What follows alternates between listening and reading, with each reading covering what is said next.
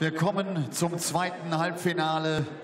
Wir kommen erneut zum Weltranglisten 20. der bei zwei Pro Tour Erfolgen steht, der jetzt sein drittes European Tour Halbfinale in seiner Karriere bestreiten wird. Acht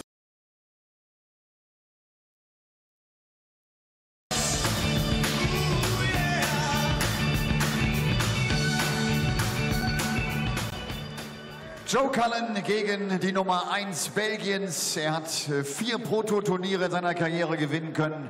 Er hat Premier League gespielt. Er hat ein Major-Finale erreichen können. Die aktuelle Nummer 13 der Welt. The Hurricane Kim Heibrechts. Flying across the country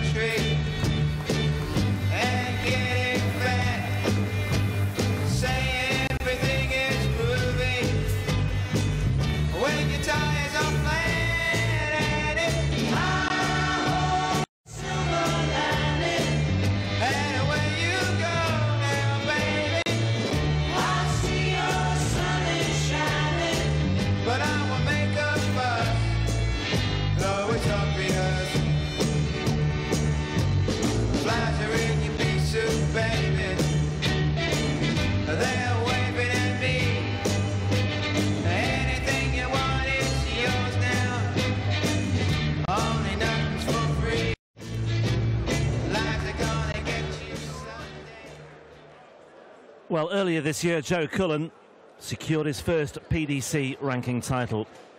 A second followed not long after. Now, he is on the verge, two matches away from a first European Tour title.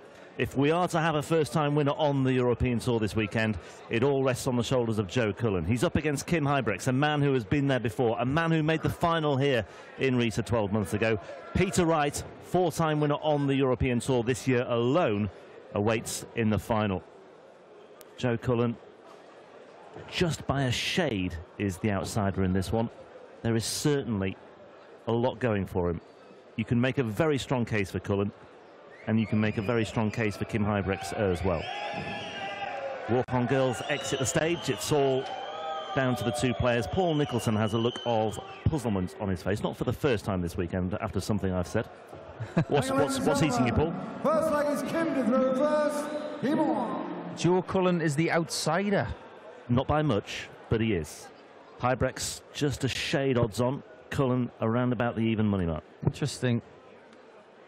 Yes, I know Joe Cullen is the 16. lesser seed, but the form in this tournament suggests that Joe is playing slightly better. But I see the see the point.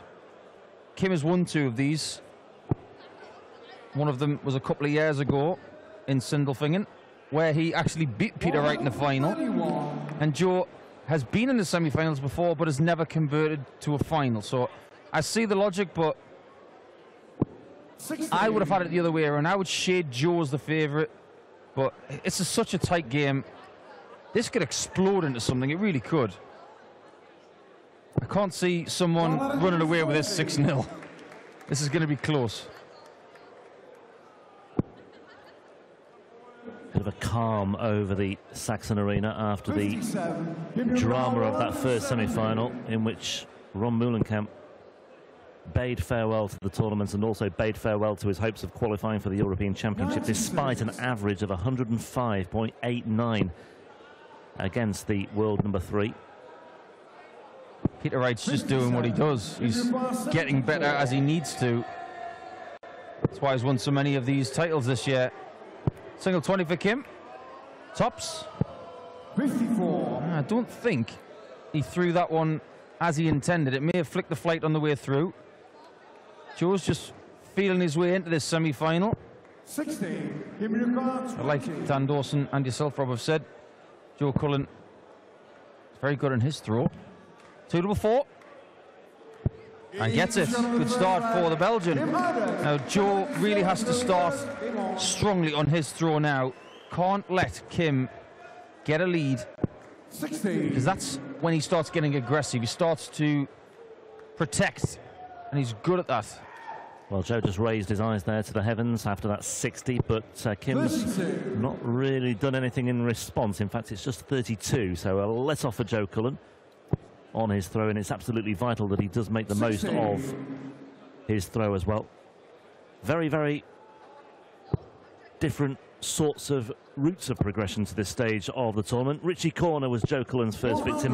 Much talked about that 6-1 win, the average of 113.77, the highest average of the weekend so far. It will take something to beat that.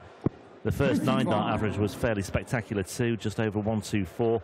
Alan Norris, the average, of course, dipped from yesterday, 6-3 against a, a Euro Tour champion, and Simon Whitlock, another European Tour champion, also beaten 6-3 as well. As for Kim Huybrechts, Christian Kist 6-1, Ian White 6-5, and then 97. Gerwyn Price 6-4. Twice this weekend, he's averaged 99.7. So it's been consistent from Kim, 59. whereas Joe has obviously made the headlines with that performance against Corner in the first uh, match that he played. Correct. Joe Cullen cannot find a treble 20, but he's found three valuable treble 19s in this leg. And he might need another one to set up a double. And Kim's hitting that segment just as well. Joey Kwan, 95. Is Joe going to go for the treble 19? Two double 19s. Was aggressive. But now Huybrechts for an early break. Double 18. That one is not a marker. That one might be. And that one's in. Second leg. Kim Hyder. Kim bringing the aggression Third leg is as he promised after the Ian White victory earlier on today. His manager Mac Elkin went past us about five minutes ago. I've seen more of Mac this weekend than I think at any other points in my time on the European Tour.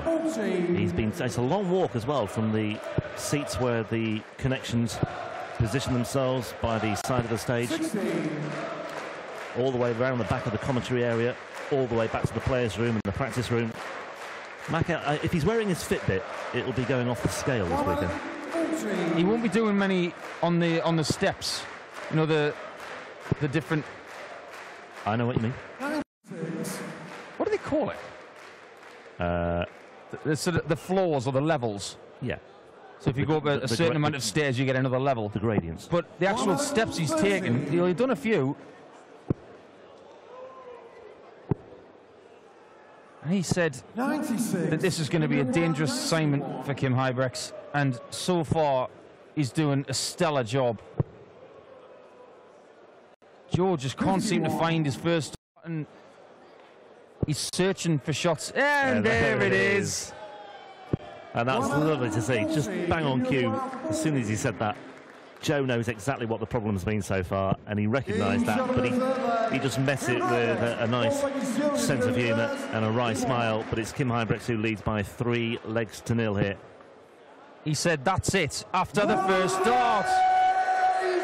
He's found it. And what Joe Cullen has to say to himself right now is don't panic. I'm only one break down. 3 0 looks really bad. There's the first dart again. Six perfect darts. It's all coming together. Okay, he's 3 0 down. It's taken a while. Not ideal, but this is more like it from Joe Cullen. Come on, Joe. 59. Joey Kwan. You make people smile with what you do. Why did he get a treble 19? Oh, that double 18!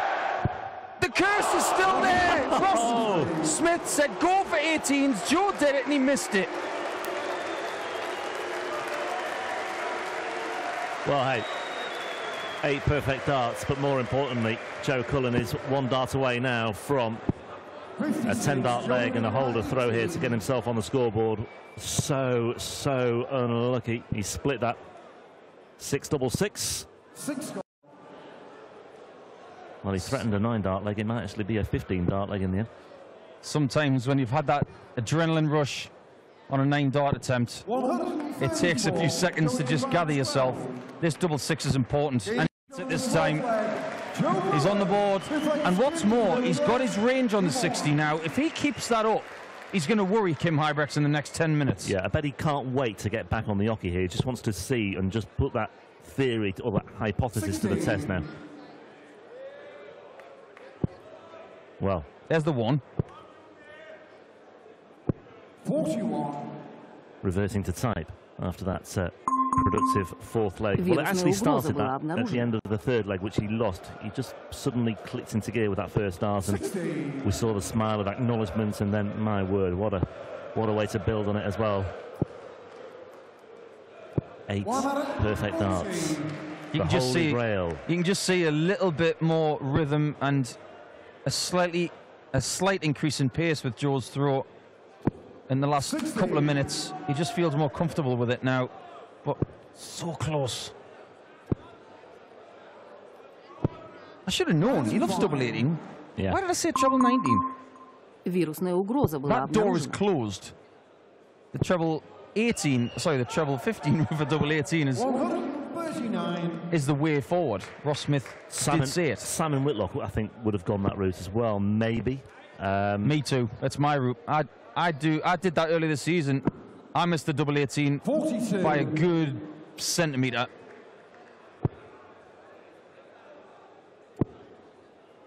But it wasn't in front of 3,000 fans. That would have brought the house down. a missed start at double 18 for a nine dart leg. But more importantly, Joe Cullen Give me a car, 123. is involved again here. Maybe an opportunity to break. Treble 18 would have left the bull, 43. or would have left Joe 50, Cullen, 90. certainly. I think he would have gone for it with Cullen on 90. Another 20, Joe. Oh, hold on. Double five. 80. Give me a 80. How valuable will that miss be to Kim? Single 20. That might be very awkward. He's got to go more to the left. What a dart that is! A brilliant shot because the flight flicked to the left. It really did shield the right hand side of that tops, and that is a brilliant, brilliant double. Well, this was a feature of his quarter-final win over Gerwyn Price, wasn't it? There we saw a missed start at double five by Joe. Huybrechts gobbles it up when he comes to the oche. That happened three or four times late on in that match against Gerwyn Price. There was that missed start at double 13 for a 119 checkout. In came Gerwyn Price. Price then missed 20s and fives to level the match at four, a four apiece. And it's happening again. And Cullen once more is in the money. Still only one breakdown. But, But the thing is, he's running out of legs. That's yeah, the that's the thing. He's running out of time. He needs to break, and he needs to do it now. He can't afford to let Kim Huybrechts get to five, and it's not going to happen in this leg because Yeah. this is brilliant from Cullen. And let's not forget Kim Huybrechts through first as well. So if we did go to a decider, he'd have to break again anyway. So effectively, it's two that he needs to find. But this is a hold of throat, Shot on the sixth leg. Joe Cullen. and 4-2 looks a lot better than 4-1. Yeah, he knows now he's got to have some sort of assault on the Kim Huybrechts throw. It's got to be now. 140. And after that first dart, you have to applaud that 140. Very, very good. And for someone who hasn't got 100% in that right arm of his, he really did push those in. But Joe Cullen just comes back with another 180. And that will feel a lot more valuable as well because it's on the Huybrechts throw. And Huybrechts has started here with a treble five. And once again, he can't find, or he's found a big one there. Well, we do know that Joe Cullen can fight. Who can forget that game with Corey Cadby? My favourite game, well, one of my favourite ever games. But he needs that kind of spirit right now. He's going to get into the final because Kim Huybrechts is here to play. That's excellent approach play by Kim Huybrechts, by the way. 60 after that 180. Back in the red stuff once again, switching downstairs to the 19s. Leaves him 1 2 2. There is 10 points between them. Huybrechts here looking at the bullseye, but he's missed that. 56. Well, 60 there would have left him a double.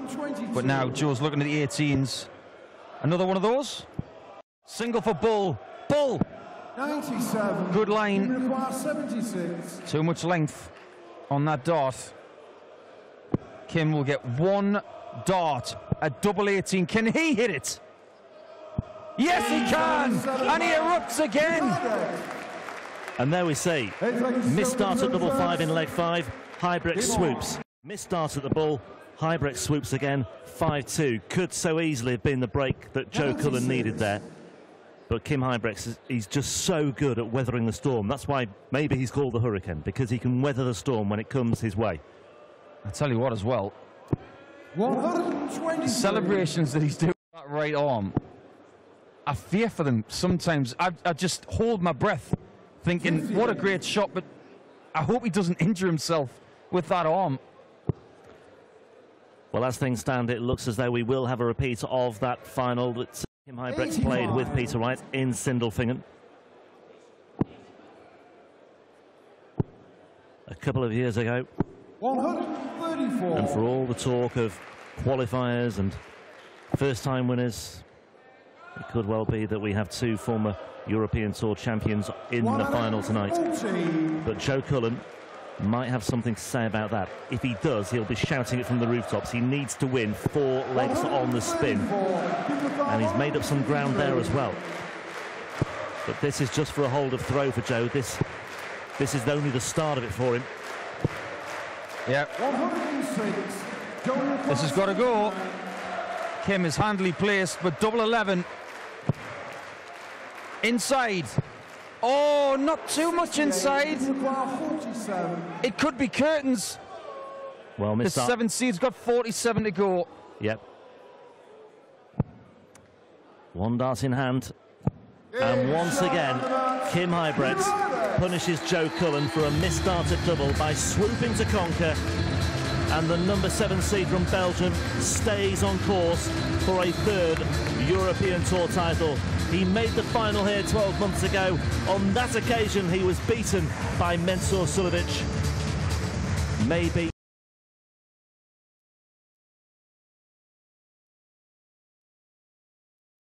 And Peter Wright, the number one seed, will contest the final of the International Darts Open here in Riesa. I imagine we'll have a break of around about 15 minutes, uh, so join us in good time. Uh, keep an eye on the screen, and uh, we'll have commentary for you, of course, on the final that is coming right up. Rund 15 Minuten Pause und dann geht's rein in die letzte und entscheidende Partie.